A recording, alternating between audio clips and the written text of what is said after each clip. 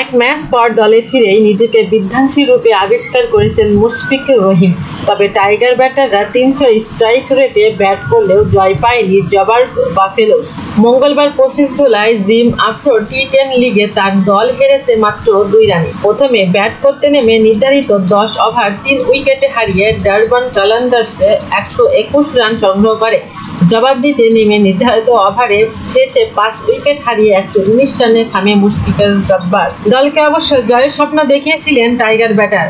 ষষ্ঠ উইকেটে তিনি যখন ক্রিজে নামেন, তখন জয়ের জন্য দশ বলে জবরগের প্রয়োজন ছিল উনত্রিশ রান।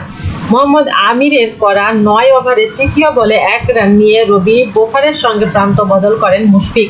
বোফার চতুর্থ বলে ছক্কা হাঁকান, পঞ্চম বলে ডট দেন, আর শেষ বলে এক রান নিয়ে আবার প্রান্ত বদল করেন। তাতে শেষ ওভারে আবার English batter on strike position পেয়ে যান।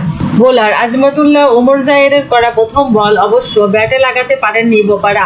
উইকেট রক্ষাও বল গ্লাসবন্দি করতে পারেননি ঠিকঠাক, তবে দ্রুত প্রান্ত বদল করে নেন মুশফিক বোপারা। দলের জয়ের জন্য তখন প্রয়োজন পাঁচ বলে ত্রিশ রান। এমন সময় মুশফিক পরপর চারটি বাউন্ডারি হাঁকিয়ে দলকে জয়ের পথে রাখেন। কিন্তু শেষ বলটি ব্যাটে বলে না হওয়ায় দারুণ একটি জয় থেকে বঞ্চিত হয় জোবার্ট দুর্দান্ত ইনিংস খেলেও শেষে ব্যর্থতায় নায়ক বলতে পারেননি মুশফিক।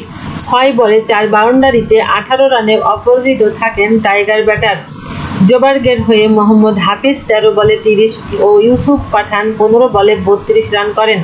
তবে মাঝের ওভারে দেলানো পর্তুগিয়াতারের আট বলে পাঁচ রান ধীর স্থির ইনিংসের কারণে ম্যাচ থেকে ছিটকে যায় জোবার্গ।